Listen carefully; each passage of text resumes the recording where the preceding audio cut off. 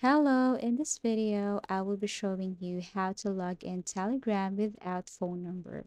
So we all know that we need phone number in order for us to sign up or log in to Telegram.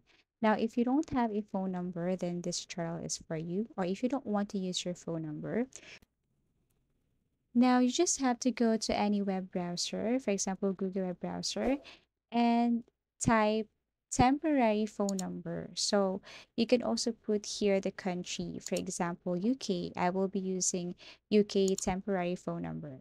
So temporary phone number UK, and then once you tap this one, you can scroll down and see there are tons of sites and all you have to do is to select any of this. Okay, let's just say this one. I'm going to tap United Kingdom temporary phone numbers.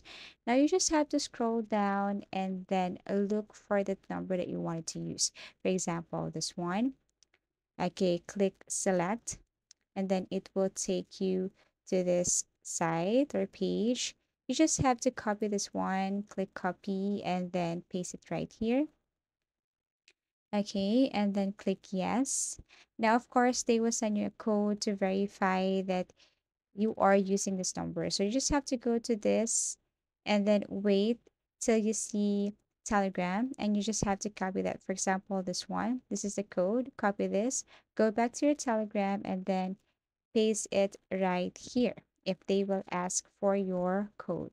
And then after you paste your code, you can now use Telegram because you have created an account already.